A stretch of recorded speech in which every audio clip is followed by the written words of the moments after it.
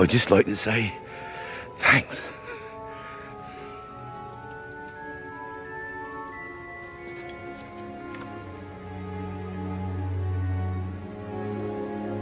There's no Hogwarts without you, Hagrid.